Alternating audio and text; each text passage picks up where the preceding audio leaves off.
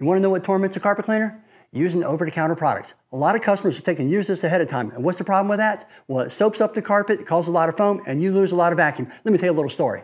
So I walk into this home, I'm doing the walkthrough, and the customer said, hey, by the way, Rob, I did you a little favor. I said, oh, really? What'd you do? She said, I took my over-the-counter product and I sprayed the whole house for you, so that will help you out. I said, actually, what you did is you kind of hurt me. Let me tell you why.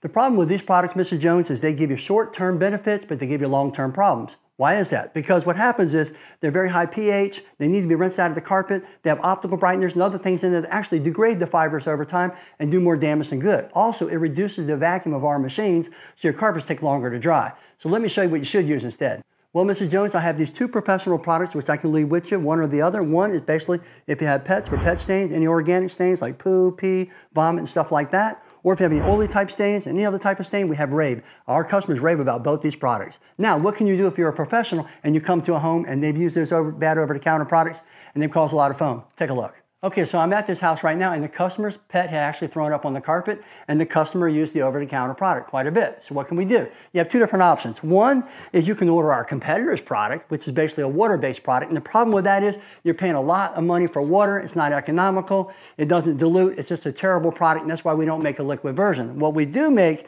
is a powdered version, which goes a long ways and is very economical. It's called TMF X-Foam.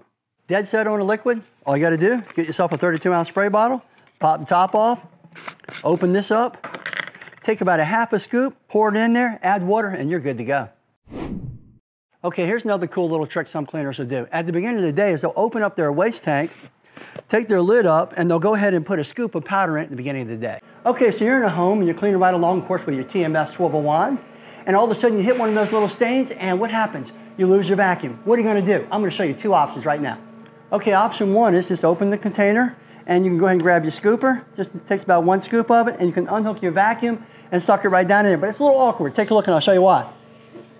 Got all this vacuum, right? You don't want to suck this in.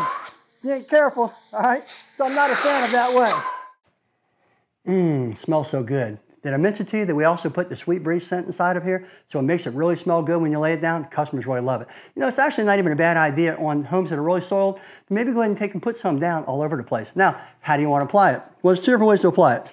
Some guys will take and just sprinkle it everywhere just like that as they're walking around the room. I'm not a too big of a fan about of that, but it doesn't hurt if that's what you want to do. Instead, I like just take a scoop of it. Take a look at this, Joe.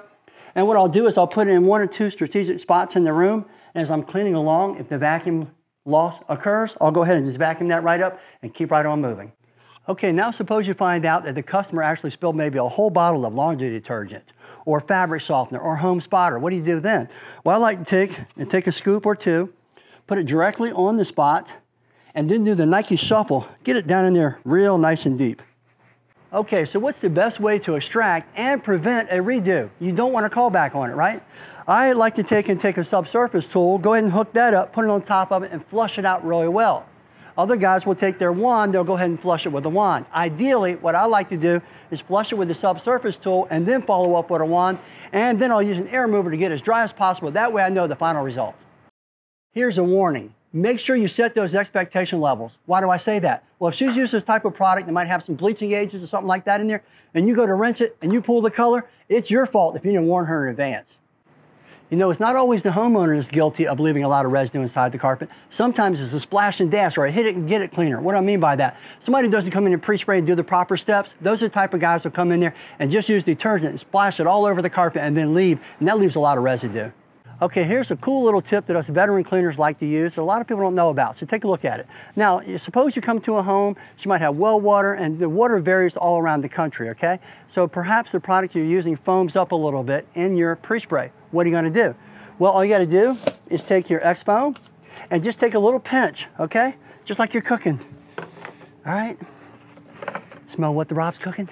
And just go ahead, drop it in there, give it a little shake, and you're good to go. Okay, so in conclusion, where can you find this X-Foam? At tmfshop.net.